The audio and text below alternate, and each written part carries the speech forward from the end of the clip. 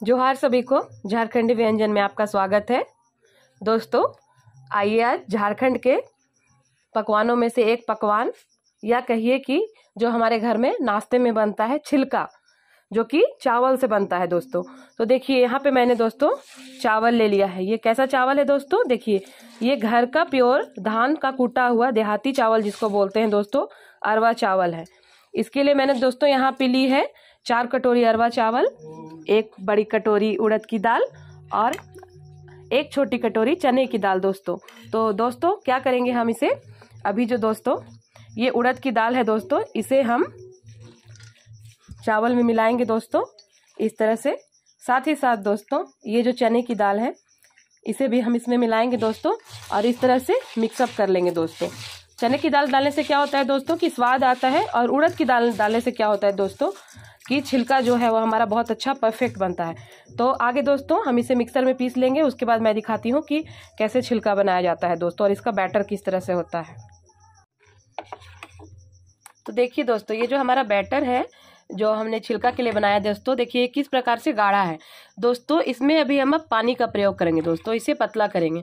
तो देखिए किस तरह से यहाँ पे पानी का प्रयोग करें, क्योंकि ज़्यादा गाढ़ा भी होगा दोस्तों तो वो ढंग का नहीं बनेगा, वो ढंग का नहीं बनेगा दोस्तों, और ज़्यादा पतला भी होगा तो वो नहीं बनेगा। तो इसे एक मीडियम ये में होना चाहिए बैटर को।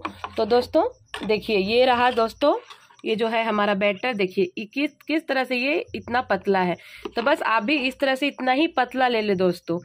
और इसमें दोस्तों, हम क्या करेंगे, बस नमक का यूज़ करेंगे। स्वाद अनुसार दोस्तों, इसमें नमक का यूज़ कीजिए, और फिर इसे आगे हम बनाएँगे दोस्तों, किस तरह से? तो दोस्तों, मेरे जो चैनल है झारखंडी व्यंजन, उसको लाइक करें सब्सक्राइब करें, दोस्तों कमेंट करें। तो आगे अब दोस्तों चलिए छिलका बनाते हैं।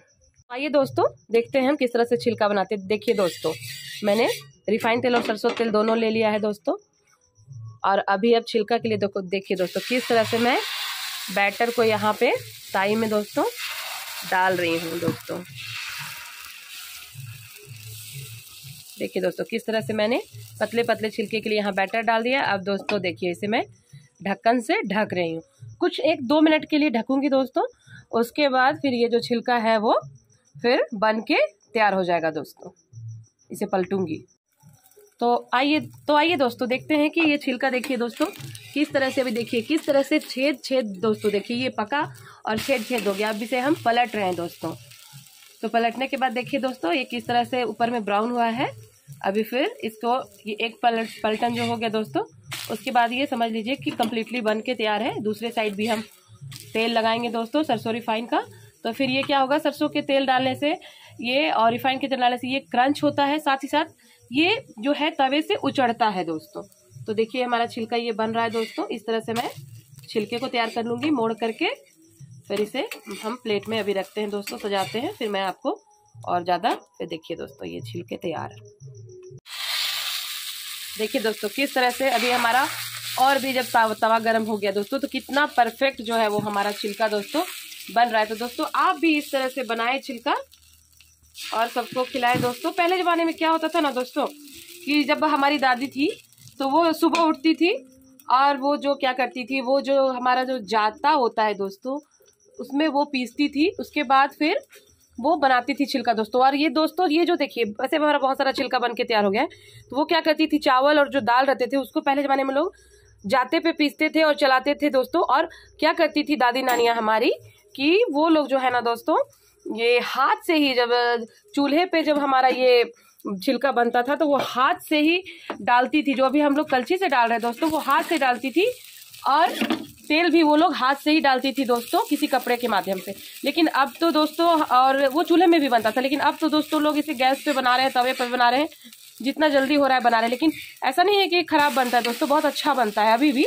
तो देखिए दोस्तों, ये हमारे जनरेशन के हिसाब से अभी बहुत अच्छा छिलका बन रहा है दोस्तों। तो आप भी बनाएँ, खाएँ, सबको खिलाएँ दोस्तों। और ये कोशिश करें दोस्तों कि जो घर के देहात वाले चावल होते हैं, उससे ही बनाएँ। और ये तो हमारे झारखंड में कहिए कि ये हमारे नागपुर में दोस्तों, एक समय की बात है तो हर घर में ये, हर सुबह नाश्ते में चावल की रोटी बनती थी दोस्तों। अब तो लोग आटे की रोटी ज़्यादा बनाते हैं। तो देखिए दोस्तों, ये जो है, वो हमारा जो छिलका है, वो अब पूरा बन के तैयार है दोस्तों और कितना अच्छा छिलका बना है दोस्तों। इस छिलके को दोस्तों, हम क्या करेंगे? सीम आलू की सब्ज़ी मैंने अपने घर में बनाई थी दोस्तों। तो देखिए, ये सीम आलू की सब्ज़ी है दोस्तों। सीम आलू की सब्ज़ी के साथ दोस्तों देखिए, ये हमारा कितना अच्छा छिलका बनकर तैयार है। सीम आलू की सब्ज़ी के साथ दोस्तों हम छिलका रोटी को खाते हैं और ये बहुत स्वादिष्ट लगता है। आप चार पाँच छिलके खा जाएँगे दोस्तों। तो दोस्तों, मेरे चैनल को लाइक करें, सब्सक्राइब करें, कमेंट करें और ये छिलका की जो रेसिपी है दोस्तों, वो आप भी ट्राई करें, अपने परिवार वालों को बना करके खिलाएँ। तो मेरे वीडियो को देखने के लिए दोस्तों, सभी को एक बार बहुत बहुत धन्यवाद। झारखंडी जोहार, नमस्कार।